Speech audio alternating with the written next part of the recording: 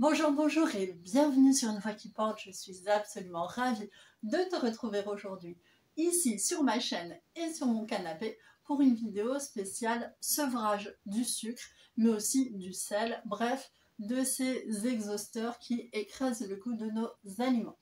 Alors, une croyance qui peut faire obstacle quand on arrête, c'est de se dire désormais, je vais manger des choses qui seront triste et insipide, genre des brocolis, ma vie va être super triste. Et ça, c'est une croyance que beaucoup de gens ont en se disant Oh là là, regarde ces gens euh, qui mangent euh, des salades à tous les repas, comme c'est triste, etc., etc. Eh bien, on va dégommer ça, on va lever éventuellement cet obstacle psychologique maintenant. Mais avant, si ce n'est pas déjà fait, tu t'abonnes, tu mets un like, tu cliques sur la cloche si tu veux pas rater de vidéo à la fin de la vidéo, eh ben, tu mets un petit commentaire si ça t'a inspiré euh, des questions, des remarques, et tu partages si tu penses que ça peut intéresser des gens. Alors, quand on arrête le sucre, quand on réduit le sel, ce qui se passe, c'est que le sens du goût se transforme. Je ne vais pas te mentir, il y a une phase au début qui est difficile. Ça dure quelques jours, c'est une phase véritablement de sevrage parce qu'on peut considérer que le sucre vraiment est un euh, toxique qui rend accro. Une fois cette phase de sevrage passée, qui peut être difficile, donc vraiment là tu as tout mon soutien, il va falloir faire preuve effectivement de courage, avoir des, des stratégies de détournement d'attention et tout. Une fois qu'au bout de quelques jours cette phase-là est passée, ton sens du goût va se transformer. Je l'ai expérimenté moi-même parce que je suis passée en fait euh, d'une période de ma vie où je mangeais beaucoup de sucre et je, mangeais mal et n'importe comment, à un moment où j'ai décidé en fait hein, pour ma santé et pour ma forme d'arrêter tout ça et j'ai véritablement vécu cette transformation du sens du goût. Le goût est une chose qui est apprise, construite et en transformation. Et si tu changes ta manière de manger, tu vas transformer ce que tu vas percevoir. Désormais, je peux manger un pamplemousse et trouver ça sucré, pas amer, sucré, vraiment. Alors, un petit peu amer, et pour moi, c'est aussi ce qui est agréable, mais je perçois le goût du sucre là-dedans. Pareil pour le lait.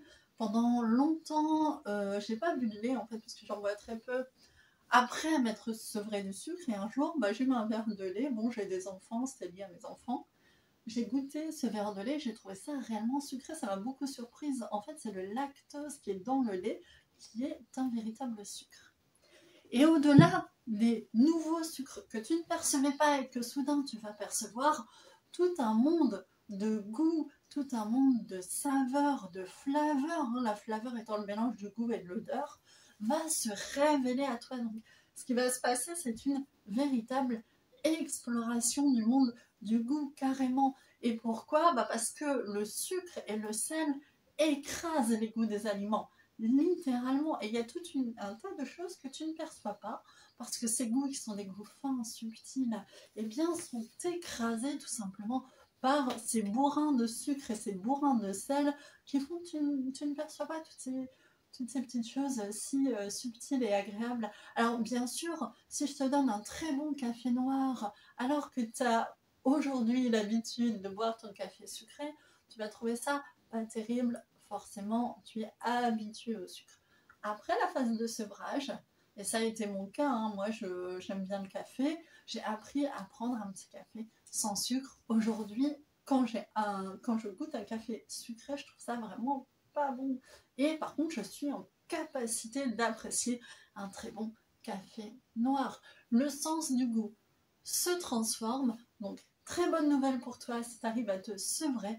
Tu ne vivras pas dans un monde triste, morne, sans joie. Au contraire, tu vas pouvoir découvrir un monde nouveau de goût, de saveur, de flaveur. Et ça va être une véritable exploration le coût, le prix de euh, cette découverte merveilleuse, bah, c'est de réussir à passer la phase de sevrage.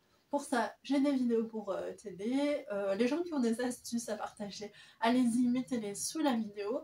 Et rassure-toi, la phase de sevrage, elle est relativement courte. Donc, il faut tenir le coup le temps que ça se passe. Et après, tu verras, c'est formidable. Il y a une vie avant et une vie après. Et en termes de forme, ça n'a rien à voir, tu peux me croire te dis à très bientôt sur une voix qui porte et prends soin de toi.